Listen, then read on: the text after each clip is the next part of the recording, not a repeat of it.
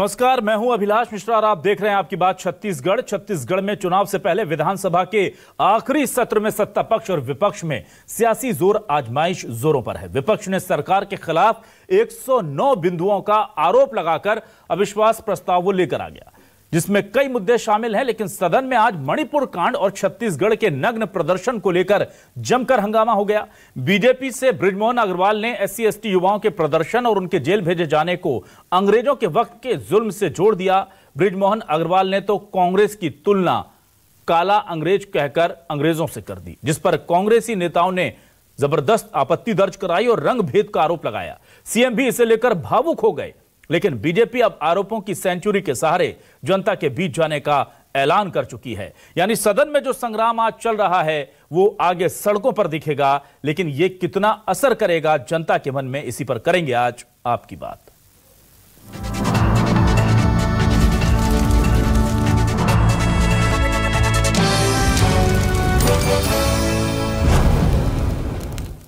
तो आज जो प्रस्ताव आया है उसे लेकर पूर्व मंत्री ब्रिजमोहन अग्रवाल का क्या कहना है? बीजेपी के वरिष्ठ नेता है, उन्होंने आज लीड ली हुई है पूरे विरोध प्रदर्शन की। देखिए क्या कह रहे हैं कम से कम अध्यक्ष जी के निर्देशों का पालन करना चाहिए। आज कांग्रेस के वरिष्ठ नेता, संसदीय मंत्री खड़े हुए वो छत्तीसगढ़ की बात कर ही नहीं रहे थे। वो दिल्ली की बात कर रहे थे, केंद्र सरकार की बात कर रहे थे। अरे, अविश्वास प्रस्ताव छत्तीसगढ़ सरकार के खिलाफ आया है। आप अपनी उपलब्धियाँ बताइए। सरकार को आरोप लगाने का अधिकार नहीं है, सरकार को कार्रवाई करने का अधिकार है। हमने ये कार्रवाई की, हमने ये कार्रवाई की, आपके लोग ये पकड़े गए, आपके लोग ये पकड़े गए। ये सरकार में दम नहीं है और सरकार के मंत्री अपने विधायकों को उकसाकर और अविश्वास प्रस्ताव में विपक्ष की चर्चा को रोकना चाहते हैं और अध्यक्ष जी को, उपाध्यक्ष जी को इसके लिए बार बार निर्देश देना पड़ता है और उनको बहुत से शब्दों को विलोपित करना पड़ता है। और उधर कांग्रेस क्या कह रही है इन आरोपों को लेकर के? सुनिए, क्योंकि बड़े बयान दिए हैं आज। सदन के अंदर बहुत कुछ ऐसी बातें हो गई हैं जो अमर्यादित कही जा रही हैं। सुनिए कांग्रेस के नेताओं के बयान। जहाँ तक अविश्वास प्रस्ताव की बात है 109 बिंदु हैं, जिसमें पहले बिंदु में चवालीस खंड अलग अलग जोड़े गए हैं। इन पे अलग अलग विभागों की तरफ़ से जवाब आएँगे। मेरे से संबंधित स्वास्थ्य विभाग के नौ बिंदु हैं, ऊर्जा विभाग के चार बिंदु हैं और जीएसटी विभाग के दो बिंदु हैं। तो अपने तरफ़ से तैयारी करके जा रहा हूँ। कितना समय देंगे, कितना वो सुनना चाहेंगे, कितना सुन सकेंगे, वो देखते हैं। प्रतिपक्ष के द्वारा आरोप पत्रों के साथ मंत्रिमंडल के विरुद्ध अविश्वास प्रस्ताव रखा गया है। लेकिन उसमें कोई भी तथ्यात्मक जानकारी नहीं है। खाली घोटाला घोटाला घोटाला इस तरीके का लिख दिए हैं। अब बात आती है विश्वास या अविश्वास की। तो जनता का लगातार विश्वास कांग्रेस के तरफ़ बढ़ रहा है और इसीलिए हम अड़सठ से इकहत्तर हो गए। उनके प्रति विश्वास कम हो रहा है इसलिए वो पंद्रह से तेरह हो गए। ब्रिजमोहन अग्रवाल ने कैसे निशाना साधा है सरकार पर यह सुनिए। छत्तीसगढ़ की धरती पर नौजवानों ने नग्न होकर विधानसभा के सामने प्रदर्शन किया और वो भी दुखी होकर, परेशान होकर। उनकी सुनवाई नहीं हो रही थी, इसलिए वैसी ही परिस्थितियाँ, वो तो गोरे अंग्रेज़ थे, ये काले अंग्रेज़ हैं। जिन्होंने इस सरकार को पूरी तरह नंगा कर दिया, निर्वस्त कर दिया, और उनको सरकार ने जेलों में डाल दिया, वो क्या मांग कर रहे थे? कि जो फर्जी प्रमाण पत्र वाले लोग हैं, उनको बर्खास्त किया जाए, नौजवानों को नौकरी दी जाए। ये सरकार तो भ्रष्टाचार के आकंठ में डूबी हुई सरकार है।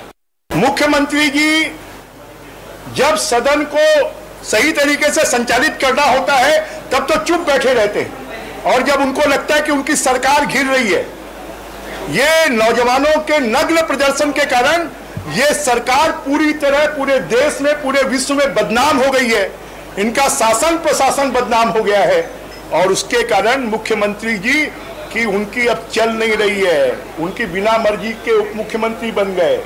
उनकी बिना मर्ज़ी के अनुसूचित जाति, जनजाति के मंत्री बन गए।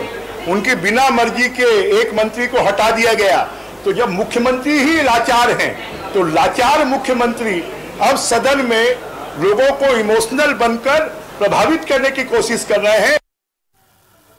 और आइए देखते हैं हमारे आज के सवाल क्या है। हमारे सवाल ये रहे आपके सामने। सवाल जुड़े हुए हैं छत्तीसगढ़ और उसकी सियासत से। चुनाव से पहले सदन में आखिरी ज़ोर आजमाइश। अविश्वास प्रस्ताव कर कितनी पूरी होगी विपक्ष की ख्वाहिश? विपक्ष ने 109 बिंदुओं के आरोपों से घेरा। मणिपुर कोड और निर्वस्त्र मामले को जोड़ा। सदन में मर्यादा फिर हुई तार तार ब्रिजमोहन ने काला अंग्रेज़ों के ज़रिए किया वार। आरोपों की सेंचुरी से बीजेपी को मिलेगी चुनावी जीत। या भूपेश के भरोसे से कांग्रेस होगी रिपीट? यही जानने की कोशिश करेंगे। तीन खास मेहमान मेरे साथ जुड़े, आइए सीधे रुक कर लेता हूँ। मैं उन मेहमानों का मेरे साथ जुड़े हुए हैं। कांग्रेस से वरिष्ठ नेता, पूर्व विधायक मोतीलाल देवांगन जी। मोतीलाल देवांगन जी, बहुत स्वागत करता हूँ, सर। आपका हमारे इस खास डिबेट शो आपकी बात में। मेरे साथ बीजेपी से वरिष्ठ नेता, पूर्व विधायक विमल चोपड़ा साहब जुड़े हुए हैं।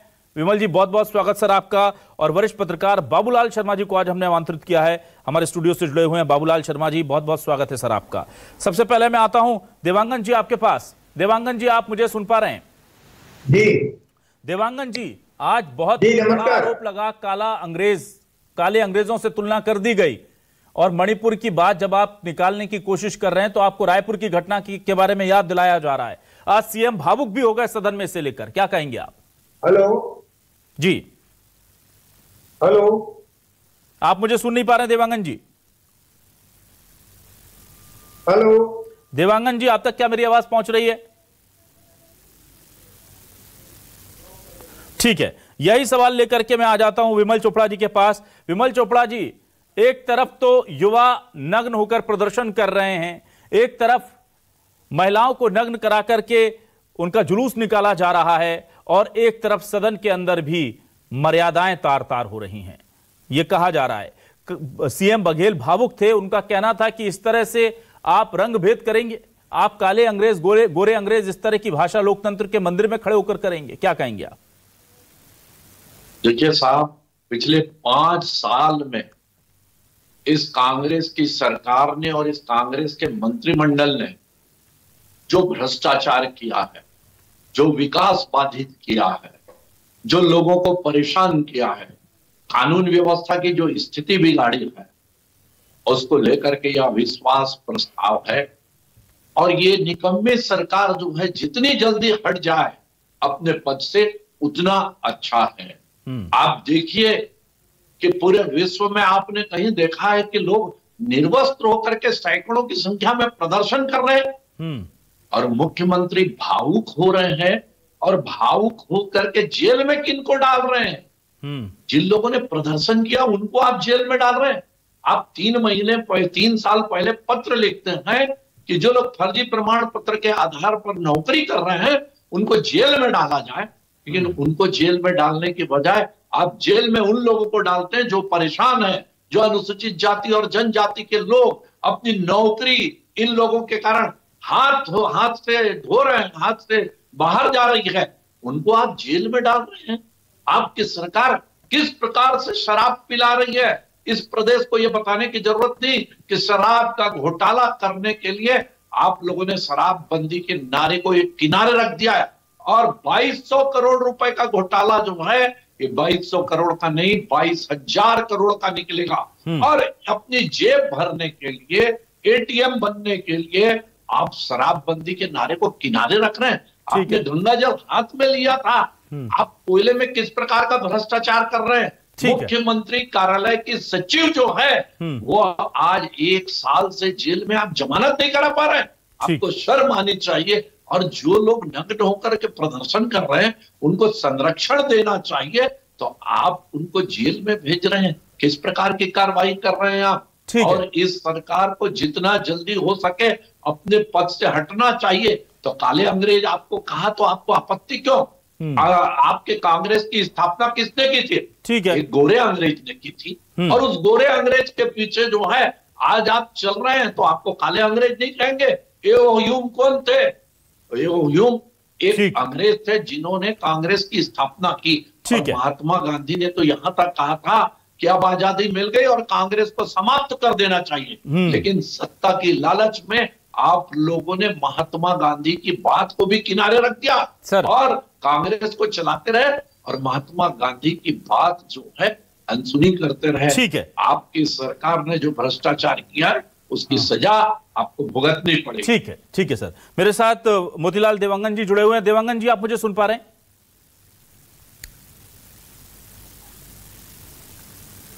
देवांगन जी आप तक मेरी आवाज़ पहुँच रही है?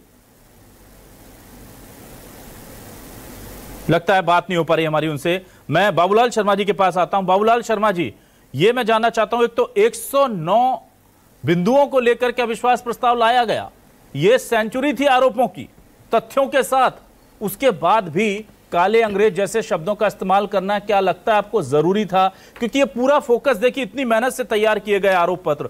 बाकायदा बिंदु बने एक एक आरोपों के पत्र में चवालीस चवालीस बिंदु जोड़े गए मतलब डेढ़ सौ से ज़्यादा मेहनत करके ये चीज़ें बनी थी। पर हाईलाइट क्या हो गया फिर सदन में?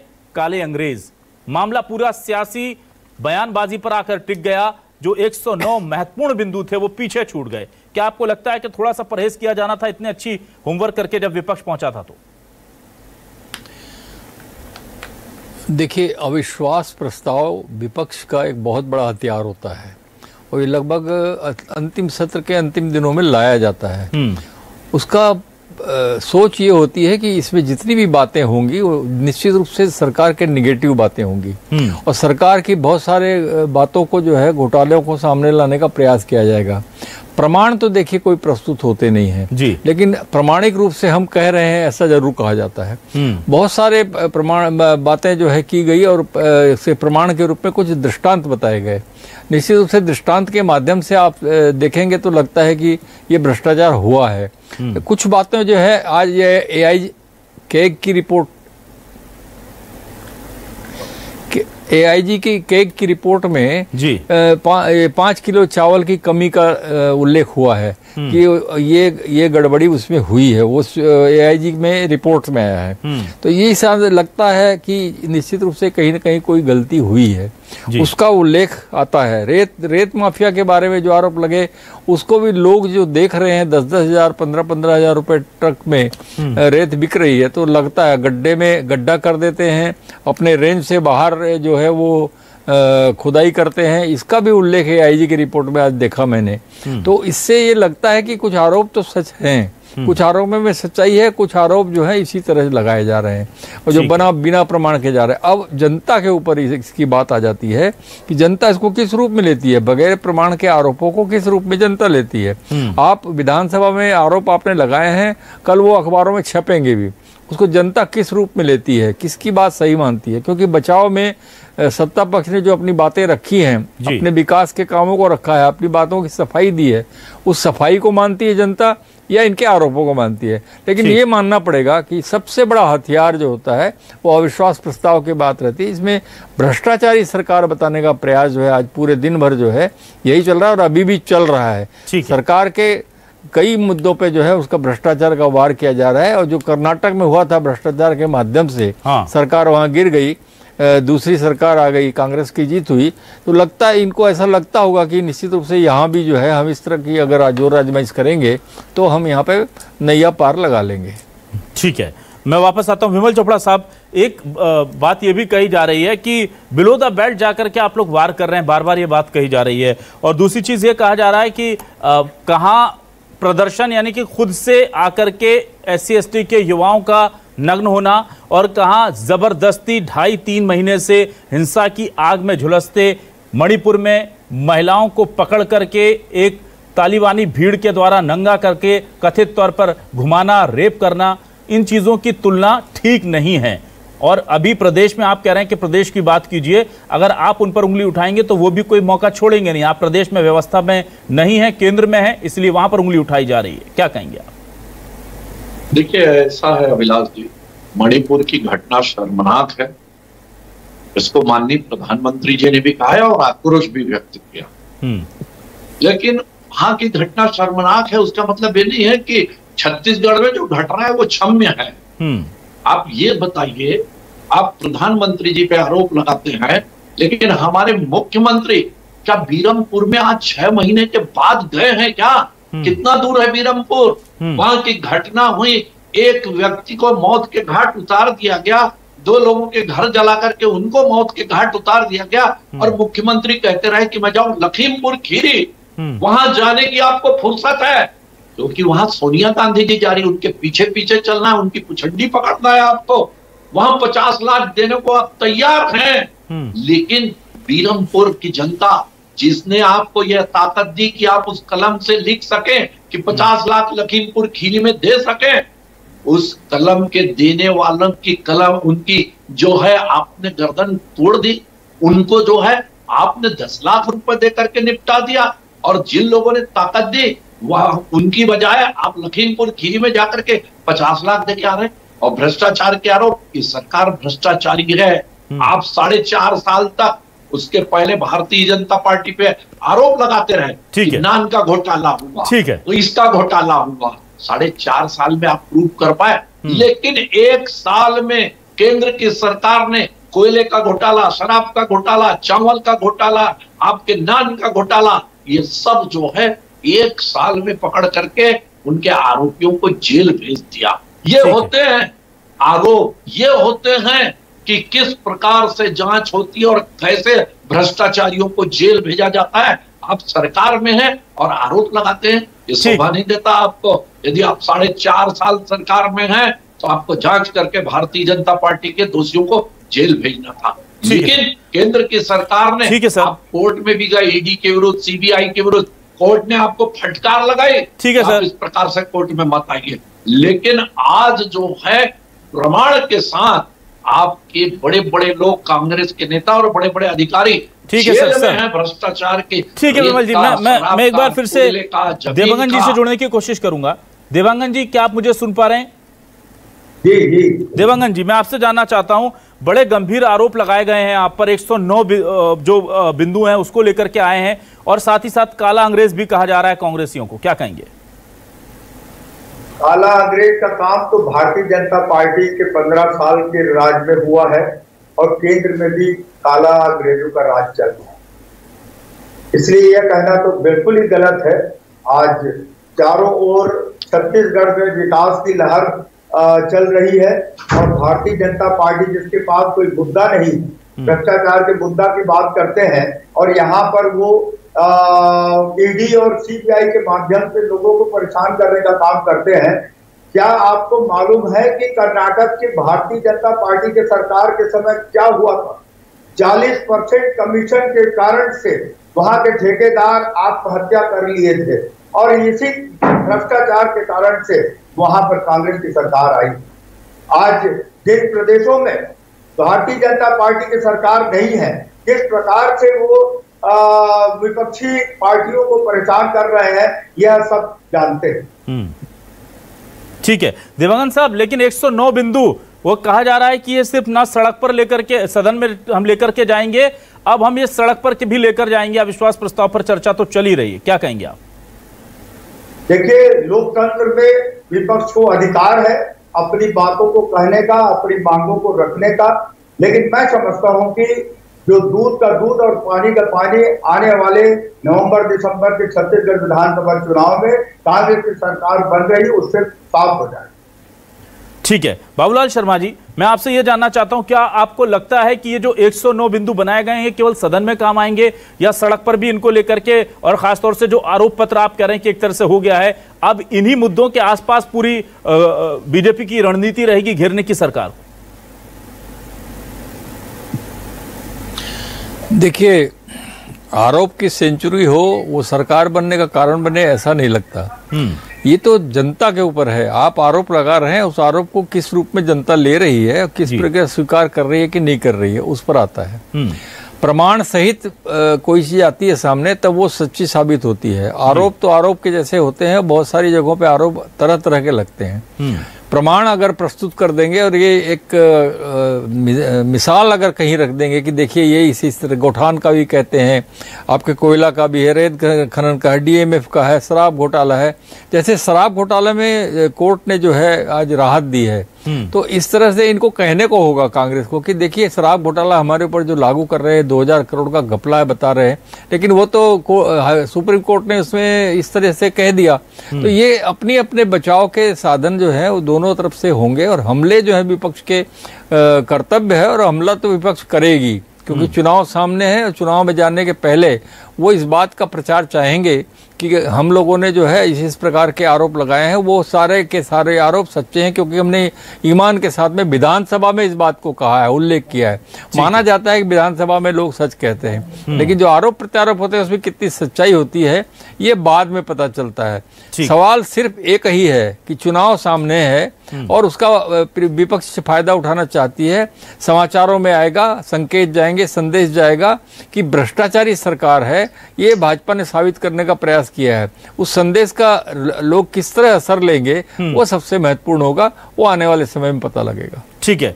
देवांगन जी आपके पास आता हूँ फिर लास्ट कमेंट में लूँगा चोपड़ा साहब से। देवांगन जी मुझे ये बताइए क्या 109 बिंदु अगर उनके पास हैं, वो भी विधानसभा में पूछे जा रहे हैं तो इसका मतलब है कि विपक्ष के पास मुद्दे तो बहुत हैं, मुद्दों की कोई कमी नहीं है। कांग्रेस किस तरह की रणनीति से इससे काउंटर करेगी? आज का पूरा का पूरा कोशिश की गई, आज जो आरोप थे, उन्हें काले अंग्रेज़ जैसे अमर्यादित शब्दों पर लाकर के फोकस कर लिया जाए। क्या आप डाइवर्ट ही करेंगे या इन मुद्दों का करारा, तथ्यात्मक जवाब भी दिया जाएगा? सभी तरह के जवाब दिए जाएँगे। ये जो आरोप लगाए हैं उसमें किसी प्रकार की कोई सच्चाई नहीं है। ये इस चुनाव में जनता इस बात को सिद्ध कर देगी। ठीक है। विमल चोपड़ा साहब कैसी तैयारी है? सदन में आज अविश्वास प्रस्ताव पर चर्चा हो जाएगी देर तक चलेगा मानता हूँ। लेकिन कल से सड़कों पर क्या असर दिखेगा इसका? देखिए साहब भारतीय जनता पार्टी सड़क पर उतर चुकी है। हम्म। हर प्रकार से चाहे वो प्रधानमंत्री आवास का मामला हो चाहे इनके भ्रष्टाचार का मामला हो चाहे महिलाओं पर अत्याचार का मामला हो भारतीय जनता पार्टी आक्रामक रूप में कांग्रेस पर आक्रमण कर रही है और कांग्रेस परास्त होगी आप देख लीजिए कोई घोटाले जो हम आरोप लगा रहे हैं हम्म। वो कोई बिना प्रमाण के नहीं शराब का रेत का घोटाला और ये कोयले का घोटाला कोयले का घोटाला हम कहते थे पच्चीस रुपए टन लिया जा रहा है ये सरकार नहीं मानती थी क्योंकि हम जितने आरोप लगा रहे हैं उसकी जाँच किसको कराना है? राज्य सरकार को कराना है। लेकिन राज्य सरकार जाँच नहीं कराना चाहती। हम्म। केंद्र की सरकार ने जो उसके सामने आरोप प्रस्तुत किए गए उनकी जाँच की और अब देख लीजिए। थोड़ा समय में आपको रेत के घोटाले भी मिलेंगे। हम्म। आपको चावल का घोटाला भी पकड़ा जाएगा। और सारे घोटाले जो आरोप भारतीय जनता पार्टी ने विधानसभा में लगाए हैं वो हम केंद्र की सरकार को देंगे कि राज्य सरकार जाँच नहीं करा रही है इसलिए केंद्र की सरकार जाँच करा करके इन दोषियों को जेल भेजे। यदि कांग्रेस में दम है तो भारतीय जनता पार्टी पर जो आरोप उसके द्वारा लगाए गए हैं हम्म। उन आरोपों पर जाँच करे और भारतीय जनता पार्टी के लोगों को दंडित करे। लेकिन एक सत्ता पक्ष का व्यक्ति आरोप लगाता रहे एक हम्म। मुख्यमंत्री जिसकी ताकत ऐसा लगता है ठीक है सर चोपड़ा साहब समय खत्म के इंचार्ज से भी कम है। हाँ। वो आरोप लगाता रहे कि ऐसा भ्रष्टाचार हुआ है ये बिल्कुल उचित नहीं। ठीक है तो कुल मिलाकर के आज सदन में भले ही संख्या बल के आधार पर ज़ाहिर सी बात है कि अविश्वास प्रस्ताव का क्या हश्र होगा सबको पता है लेकिन बीजेपी ने विपक्ष ने एक फ़ील्ड सेट कर दी है और वो इस बड़े हुए मनोबल के साथ जाने की कोशिश करेगी। उधर कांग्रेस को पता है कि इस वक्त वो अभी उसके पास ज़्यादा सीटें हैं, इसलिए उसे बीजेपी के पास खोने को बहुत कुछ नहीं है। कांग्रेस को बचा कर रखनी होगी अपनी तमाम एक एक सीट और इसके लिए मेहनत उसकी भी बहुत ज़्यादा लाजमी है। बहुत बहुत शुक्रिया मोतीलाल देवांगन साहब, विमल चोपड़ा जी, बाबूलाल शर्मा जी, हमारे साथ जुड़ने के लिए, डिबेट का हिस्सा बनने